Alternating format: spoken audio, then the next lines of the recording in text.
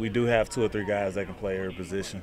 Um, you know, and a lot of basketball now is uh, positionless basketball and it's interchangeable guys. So uh, I think that's the makeup of this team. I think we've uh, done a very, very good job of putting guys together to make this a team that can compete. Uh, you know, I think we, we have been coming to practice and, and, getting into the gym and doing things on our own, and and um, most of the team has been here. Um, you know, except for a few guys, but you know, um, those guys I'm sure are working out and doing things on their own. Uh, Bogus he was playing for Croatia.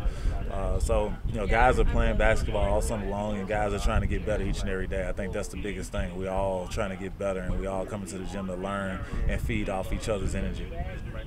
You're you're a vet. You've been on a lot of different teams. You've been on good teams. You've been on not good teams. You've, you've uh, you know, you know this team. Sometimes it seems like the outside looking in is selling this team short. Uh, yeah. What do you think about the Jan's assessment, assessment of the Pacers? Uh, I mean, this uh, this team actually reminds me of uh, you know my younger years with uh, the Sixers. Um, you know, we were a team that wasn't expected to do much, and we end up having some re- some really good years. You know, behind guys like Louis Williams and Andre Iguodala, uh, Evan Turner, Spencer Hawes, Jrue Holiday.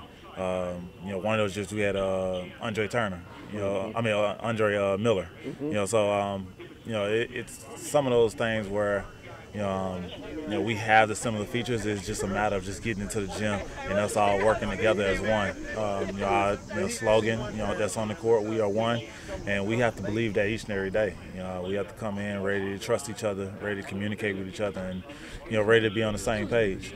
Did you uh, do anything different this offseason yourself? Uh, just, you know, I, I rehabbed my wrist from last year. Um, that was a, a, major factor in uh, me playing in the second half. I didn't uh, play up to my full potential uh, in the second half because you know I was you know limited by my wrist. But you know I'm back healthy and uh, you know I just been working on just shooting and uh, just you know being better at each and every facet of my game. You know which is handling the ball.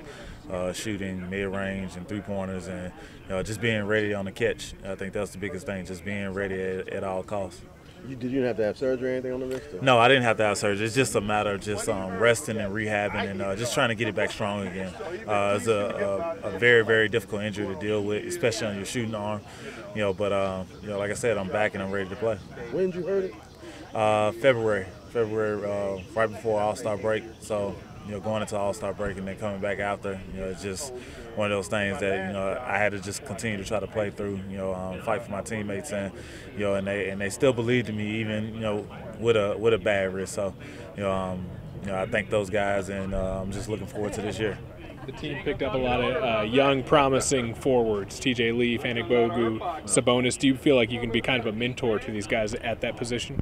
Yeah, definitely. Uh, you know, me and Big Al, we've already kind of talked talked uh, talked about it, you know, with one another, and um, you know, you know, we definitely feel that we can mentor those guys and show those guys, you know, and lead the way for those guys. You know, um, you know, they're that's a fair, a very, very good young core. You know, um, you know those guys have been coming in, working, getting work in each and every day.